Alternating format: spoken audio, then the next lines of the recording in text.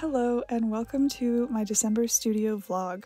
What you're seeing here is uh, me starting off the month by overhauling my website. I tend to change up my website every six months or so uh, for no particular reason other than adding new illustrations to my portfolio and then, while I'm there, realizing that my inspirations have changed and needing to change the entire aesthetic of my site.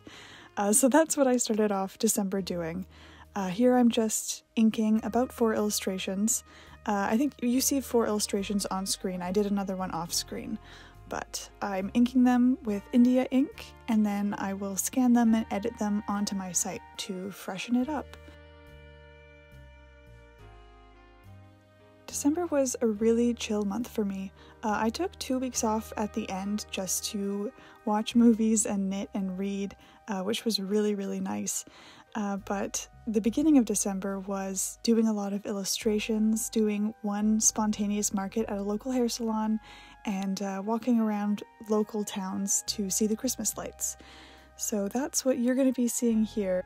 There's not going to be a lot of talking in here. I think this is actually the only time that I'm talking in the entire video, so this is definitely something to throw on in your background and just relax. So I hope you have a great next 20 minutes ahead of you, and thank you so much for stopping by.